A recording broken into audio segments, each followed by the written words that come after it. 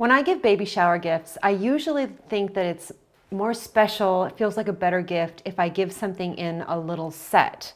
And that's why I put together the pattern for this little cardigan with this hat. So two things, just, I don't know what it is, two things feels more special. That's usually how I like to present it. In these videos, we're going to talk about the hat and well, this, this pattern actually comes with either a hat or a beret. And we have a few different things going on in this pattern. Um, we're knitting in the round, we're doing some Fair Isle striping, and on the beret we have a little I-cord top. We're going to cover all of those techniques. And these techniques, of course, are common in a lot of different patterns, but if you want to follow along with what we're doing here, these patterns are available over on my website. So with the hat, the first thing you need to do is to cast on your stitches and let me switch things around here. I've already cast on the number of stitches that I need for the size that I'm knitting and the first thing I need to do is to get this joined in the round so that we can start knitting around and around in a hat shape. So I have everything flat here with no twists, as you can see. Being very careful not to twist is what patterns always say when you're joining in the round. And I'm getting things spread out. The cast on row is always the tightest. You'll find that baby hats knit up on these 16 inch needles just fine once you get past the cast on row. Okay, so my working yarn is here. The first stitch I'm going to knit is right here. Nothing is twisted, everything is smooth. I'm going to separate the working yarn from the tail. The reason I'm taking all these steps is I want to make sure that nothing gets twisted from here to when I actually start knitting. I'm going to get myself a stitch marker and put it over here on the right hand needle. And I think I'm ready to go. I can pick this up and start working. I'm going to be working in one by one rib, which means knit a stitch, purl a stitch, knit a stitch, purl a stitch. So I knit my first stitch and pull that tight, pull that pretty tightly because we want to minimize the gap we have here. We're joining in the round. Since the next stitch is purl, I'm going to pull the yarn forward between the two needles and purl it. And then pull the yarn back between the two needles to do the next knit stitch.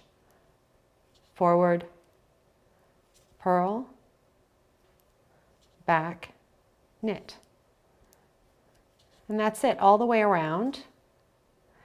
And you'll follow your pattern to do that for as many rounds as you need to for your size. And you'll know you're at the end of your round or the beginning of the next round when you run into your marker. When you run into your marker, you just slide it from the left needle to the right needle and keep going. The next thing we have to learn is working this Fair Isle stripe in the hat, and that's what we'll cover in the next video.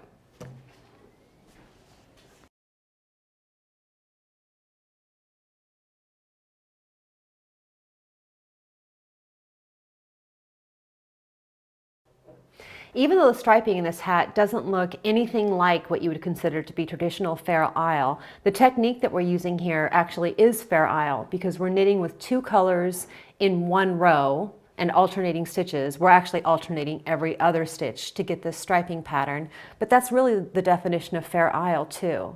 So I'm going to show you how to work that and to work the floats on the back and make sure that everything, that your tension's good all the way through. And I'm holding this up. The striping is the same for the beanie or the beret. The only difference is with the beret, we had an increase row and um, a little more knitting before we get up to the striping part. It's the only difference. You'll follow your pattern to, um, for whichever hat you're knitting, but once we get to this point, it's all the same. So I am knitting a beret, so I finished my, my ribbing and I did my uh, additional rows to get the count right and the shape right for the um, beret. Now, and there's my marker. I'm going to start with this main color first and then put my needle in because I'm going to be alternating colors every stitch. I have the white yarn here. I'll wrap the needle and pull it through. I left myself about a six inch tail on that white yarn. And then I'm going back to yellow and knitting one, going back to white and knitting one. That's the way it's going to be all the way around, but I want to show you a couple of tricks. First step, I am going to tie this white end to the yellow working yarn because we're working with synthetic fabrics, things are going to squirm around. I want that secure. Next up is a yellow stitch, then a white stitch. and if you are, if you have followed along and knit the sweater that goes with this, I showed you a way of working the Fair Isle by, um, and making sure that one color is always on top. In this case, I've got the yellow on top and the white underneath. And that, that is a way of making sure that the stitches have the same prominence throughout the work. So what I do, this is one way of doing it, I keep one color, the yellow on this side of my index finger, and the other color on the other side of my um, middle finger, like this. So there I throw a color to work with the yellow, and I throw the color from the back to work with the white. From the front to work with the yellow, back.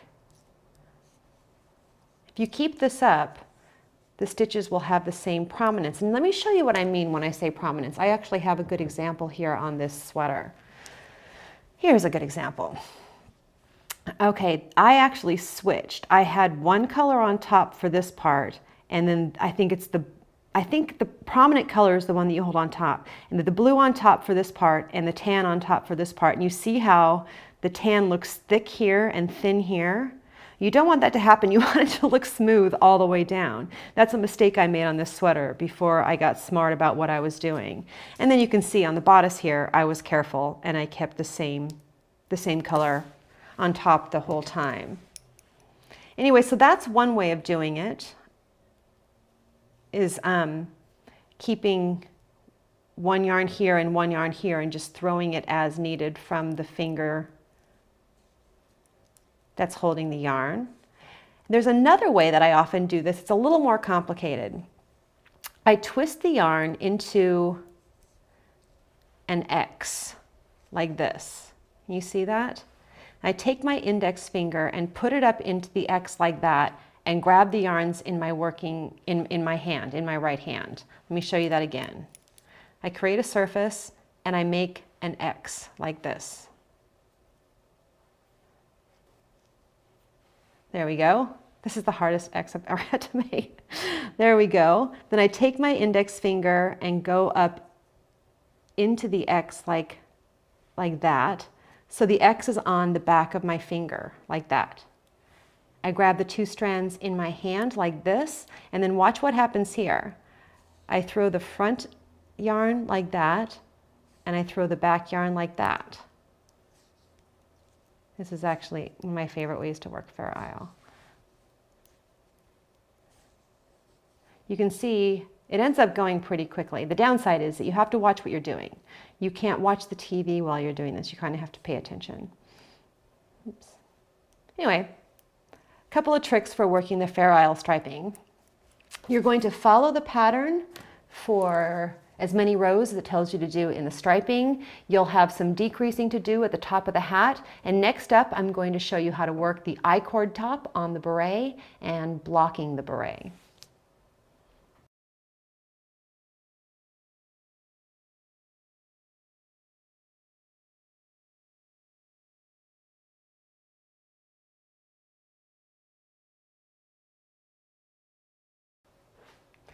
This video and this technique I'm going to show you is specific to the beret. And what I've been showing you up until now is um, interchangeable with the beanie or the beret. But we're going to learn how to do this little top on the beret and the beanie does not have that. So let's look at the work. We're just about finished here. We have very few stitches left on the needle. I'm going to go ahead and do the last decrease round with you here, which is knit two together around. This is where it can kind of get fiddly because there just isn't much here to work with. I'm going to knit two together, drop that needle. I'm going to put these two knit two togethers on the same needle. In fact, the next bit of instruction tells me that I need to get all four of the remaining stitches on the same needle. So I might as well just work everything onto this one needle.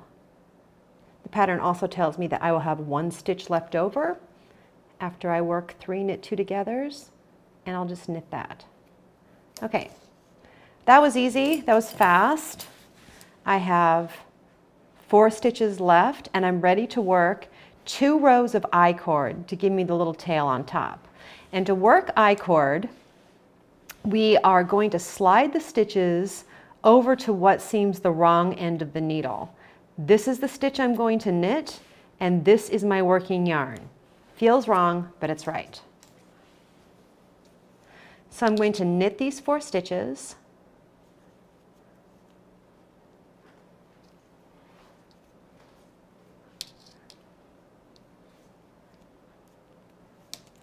Okay, and I'm going to slide the stitches over to what feels like the wrong end of the needle again and work one more row. Whoops, if I can grab a needle.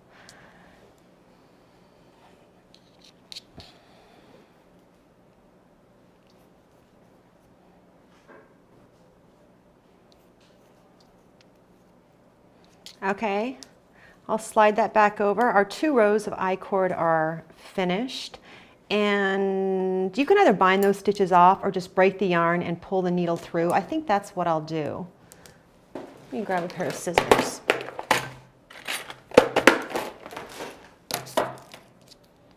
I normally just break yarns with my hand, but this cotton bamboo blend would not be good. I would break my fingers. So I broke the yarn. I'm just going to slide those stitches onto the tapestry needle and pull that through. And then I can pull this into the inside of the hat and weave in that end. Now you take a look at this, it's not looking all that beret-ish, beret-like, whatever you want to say because the trick of a beret is in the blocking. We did an extra increase row uh, close to the beginning of the hat right after the ribbing to give us a lot more, um, I guess, pancake shape when it's all said and done. But blocking is really how you're going to make this look like a beret. And what I have here, I happen to have a dessert plate that is exactly the right size for what I'm, um, I'm going to use I'm going to block this on. You can cut a piece of cardboard. I don't know. I, I went through a lot of different objects until I found this exact dessert plate in the right size in my house. Um, so what you'll want to do is to just put the hat over the dessert plate when it's wet and get it all straightened out. And I've found, I don't know if there's any kind of formula for this, but I've found that if the plate seems a little bit too big when it's wet, when you're first putting it on there, it's the right size. A little bit too big and it'll shrink back down a little bit um, once it's dry to be the right size. So you get this even and with the beret it's nice because you have the striping to, to look at when you're trying to get this even. You can see if it's even all the way around. And so it's wet and you let it dry like this. I guess this could also be an awesome plate protector. you want to make up a bunch of these to ship your dessert plates somewhere. Anyway, you let the hat block like that, you weave in the ends, and you're finished. And to, I should tell you, to block the beanie, you just um, get it wet with a wool wash or whatever, thing, whatever you're going to use, and lay it out flat to dry. Give a little tug to the, the Fair Isle part and pat it out, and that's it. That one's really easy to block.